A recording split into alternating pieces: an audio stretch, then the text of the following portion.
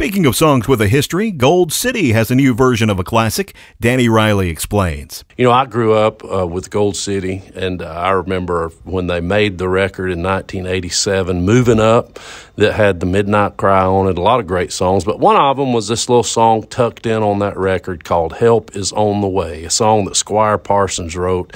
And uh, we went in the studio recently and uh, recut that song, gave it a little bit of a new flair, and uh, we're excited about it. I hope you enjoy listening to it. Help is on the way.